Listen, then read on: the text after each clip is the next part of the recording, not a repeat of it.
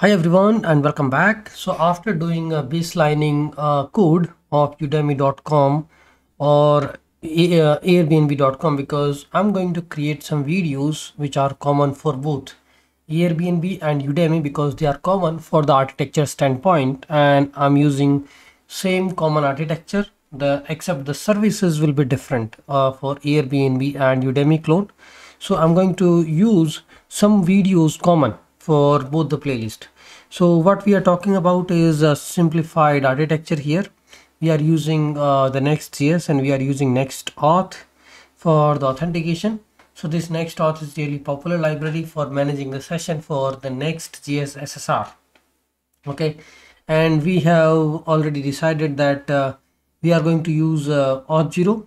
I mean, you can just use a credential provider also and do the authentication by username password but we already have delegated this user management stuff to Auth0. Auth0 is actually a third party provider that will give us uh, the session because we are going to plug the Auth0 uh, Auth0 mechanism with the next auth and next auth understand how to enable the authentication by taking user login screen to the Auth0 and allowing him to enter the username password because the user already created on auth0 so it will create a session.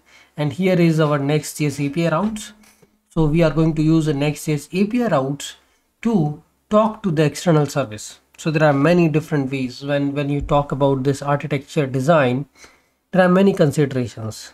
So what you can do is uh, most of the application we build with the simple next next.js next auth and uh, auth0 and we don't need these external services we can what we can do is we just write these next JS apis and those apis can directly do the insert update delete and all those different operations by accessing the data through the prisma orm type orm or something right? Prisma is popular with the next uh, next.js because it gives you the prisma client that you can use to do the insert update delete or query the database.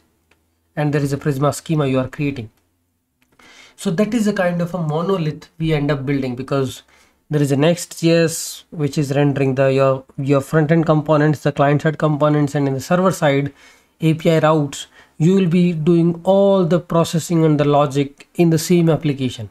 So either we write a one single monolith i will say monolith because it contains your client side rendered code the components server side components and your api routes. And api routes are doing insert update delete using Prisma to your database. So it's like a one a single application, but maybe in future I'm not using Next uh, Next.js. I'm using CSR client-side rendered framework or maybe a Svelte.js or SvelteKit or something. How should I be able to decouple these things? So that's why it's better to create these services as a standalone uh, external services. So what I'm doing here is I don't want my next JS APIs to talk to the individual service. That's why I created a simple HTTP proxy. That proxy will just expose a common endpoint and we can just by putting the path route API v1 auth will take you to the auth service. API v1 uh, let's say the course manager will take you to the course manager service. It's like a simple uh, Node.js middleware which is able to rewrite the path based on the path prefix you are adding that we have already used at many places. So this is the Next.js API that is going to talk to the proxy, but we need to have some authentic uh, authentication token that is being that will be provided by the next auth server side session because this is server side API routes. In a server side session, we have access token. That access token we can pass as a authorization header, and the same will be forwarded to the target service, and that target service will validate the token against auth0 okay is it valid? Is it correct? Not expired? Everything is good. And inside this next uh, auth token X, sorry auth0 token we are going to embed it the critical information. I mean that we need to deal with the external service like the role like the user id which is not a secret information. I mean we can expose the role we can expose the user id and based on that user id and role the authorization authentication logic authorization logic can be placed in the external different different services based on the role based on the user id based on its association. We can decide that this data needs to be exposed or this data needs to be uh, blocked for that user. All those different kind of exceptions we can throw and this Next.js APIs will check. Okay status code is like uh, 401 403 deal it differently. Okay so that is uh, what we are doing with the with the help of this. So this is what the end user will see while accessing the the Next.js application. Okay? So maybe you can create a two different application. One is the end user application one is the admin dashboard application.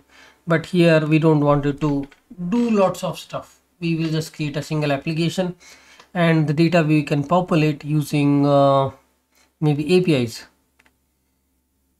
so here uh, next auth session.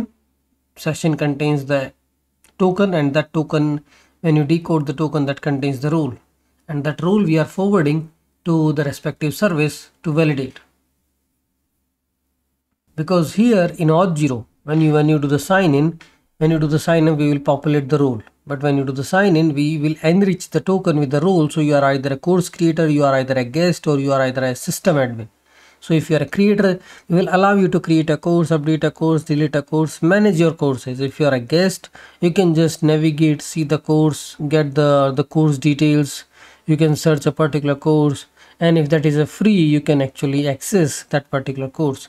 This is how a simple course creator role will be there once you are populating the information through the auth 0 so, you know, uh, so in auth 0 you will already have these roles pre-populated.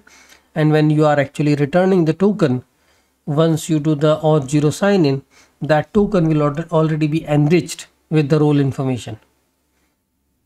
So at the end uh, what all things we need to build? I don't want to, to build a different interface. We can manage the same thing with the simple next.js application based on the role. We because once you uh, initialize the session we will get to know okay what is the role. And based on the role we can actually do the internal routing and show the diff two different uh, console two different screens to the end user. If it is a course creator he will see the dashboard where you will uh, get a features to upload download update the course if you are a guest your screen will be the default that you are just navigating and surfing or browsing the set of courses. And we uh, will be creating all these services together like a course service order service course manager service user preference service that is in the context of udemy. But let's say when we are doing an airbnb then then these services will be a little different like property listing services order service payment service booking service. All these things will be there. Okay? So uh, let's see about the architecture like what all different complexity we are going to resolve by understanding about it